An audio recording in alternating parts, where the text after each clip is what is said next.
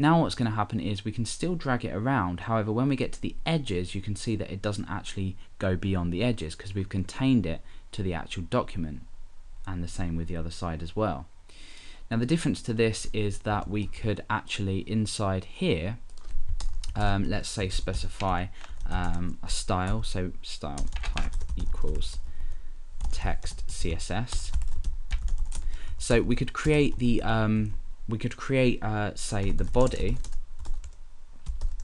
uh, to have uh, let's just say margin left 50 pixels now you can see that even though our document um, uh, actually starts with uh, a margin here, we can drag it beyond these as well. So we can drag it in the entire document itself. Uh, and this is extremely similar, let's just get rid of that. This is extremely similar to the window value as well. However, this will constrain to the window itself and not just the document. So you can see that we can still drag it slightly beyond uh, the um, the document here, uh, but it's constrained to the actual window itself. So very similar uh, properties here, but we can actually uh, do something with these. You know, you, you might have different uses for these. Now we're going to go on now and look at parent. Now at the moment, the parent of this uh, this um, element is the actual window itself. Although we can still drag down the page here now, uh, we want to constrain it perhaps to a particular element. Now let's go ahead and surround this span with a div. And let's indent that. And let's apply a style to this div. Uh, let's go ahead and make the width 200 pixels and the height 200 pixels as well. And let's just set a background color of that.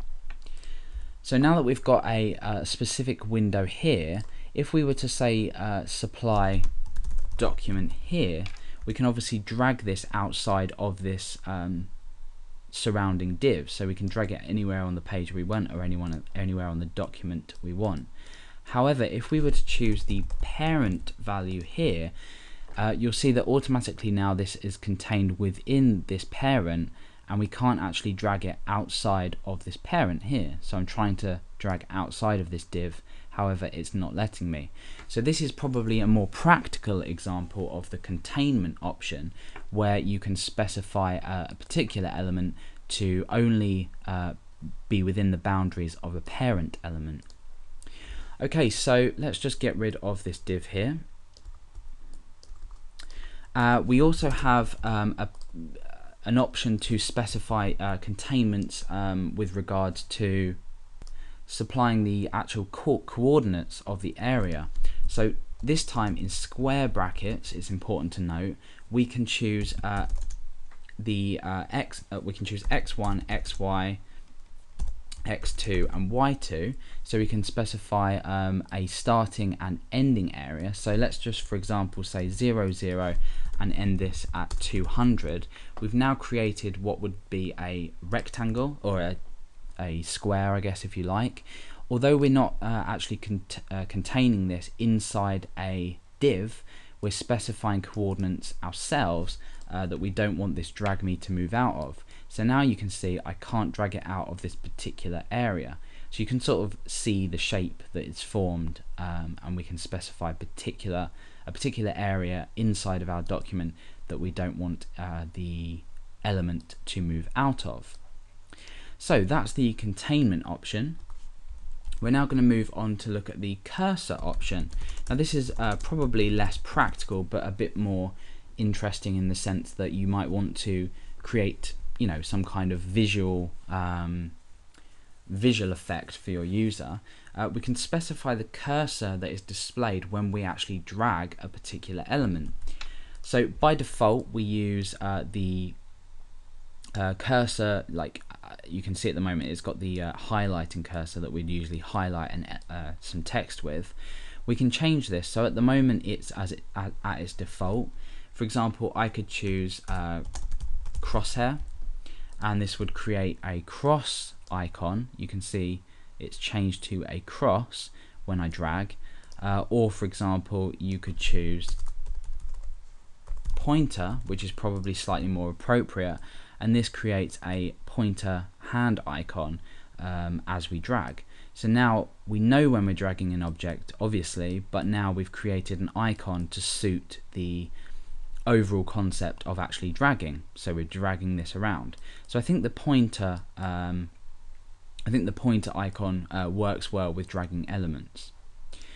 Okay, so as well as that, we're going to move on to some other options. However, we're going to comma separate these so we can supply more than one option. So now at the moment, as the element is being dragged, we're changing to this pointer cursor, but we also want to take a look at other elements and include these uh, as well. So the next one we're going to take a look at is the opacity. Uh, and obviously the opacity is um, the you know display of this from 0 to uh, or from 0 to 1 or from 1 to 100 usually uh, just basically its visibility so for example, if I was to choose um, 0.6 oh, or 0.6, uh, so 0.60, uh, this now has an opacity of 60%. So this is only whilst dragging. So you can see that the colors are um, as normal when we're not dragging. However, when we're dragging, you'll notice that the pointer has changed as well as the opacity. So this is another useful effect for when dragging because we now, um, you know, we sort of see the element as it's being dragged. And it's also important to note that if we're dragging over things, um, we can see uh, behind these uh, as well. So if we were to have other elements in our page and we were dragging over them, we now have the opacity set to 60% or 0.60 in this case. Okay, so the next option we're going to look for, and again we're going to uh, comma separate this, we're going to look at the, um, let's say, grid option. Now uh, the grid option takes uh, two values and these are the um, uh, the points of the grid if you like. So I'm going to choose 20 and 20 now what this is going to do is it's going to allow this element to be snapped to a particular grid. At the moment we can freely move it around anywhere on our page and we have no grid to snap to. However, what this grid option is going to do is, is going to create an invisible 20 by 20 grid which is going to allow us when we refresh the page to actually snap this to a particular grid.